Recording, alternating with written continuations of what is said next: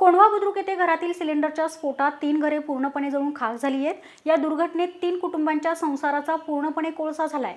या कुटुंबांना राहायला छत राहिली नाही की रोजच्या संसार उपयोगी वस्तू.